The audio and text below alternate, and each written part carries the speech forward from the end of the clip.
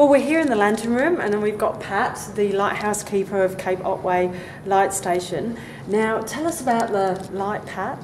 Well, this prism um, was built in Birmingham, in England, or near Birmingham, in 1888.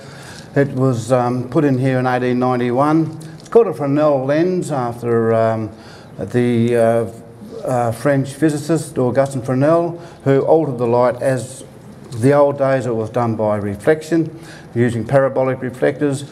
With this apparatus, it was done by refraction.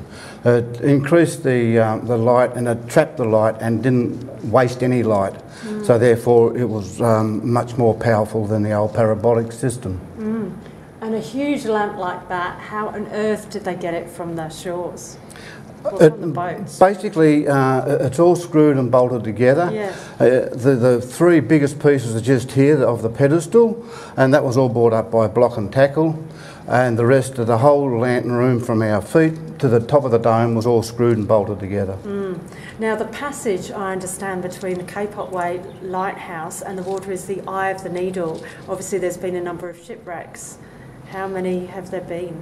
Well, uh, yeah, a, a, huge number of shipwrecks, but mainly around this area, from a, a, horseshoe shape from, say, Apollo Bay around the Cape to Moonlight Head, there's around about 22 shipwrecks. Wow. The real reason for the lighthouse being built, though, was because of the carnage that was happening on, on King Island. 1835, a convict ship called the Neva um, got lost their way, if you like uh, hit the western side of King Island and about 250 female convicts, children and crew, um, mostly perished.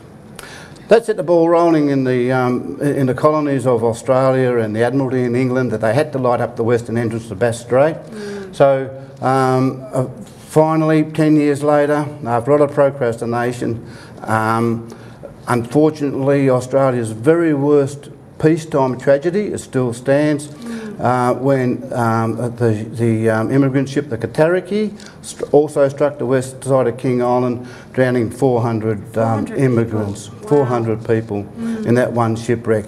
Lo and behold, three years later, the lighthouse was here and operating, and operated ever since until 1994, till it was decommissioned.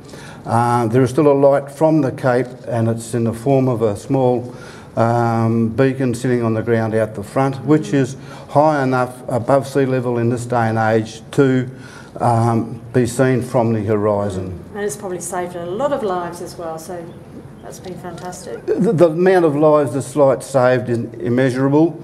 Um, we can history can tell us the amount of people that drowned in the area or through shipwrecks, etc. Um, but the, the, amount of people that actually got through through the gold rush days and the high immigration days of the 50s uh, is sort of um, unbelievable. Mm. Another interesting footnote is that in the 1860s there was between 50 and 100 ships going past here a day. Wow. So that could put a little bit of that into context. Absolutely, yes. So it's helps save lives.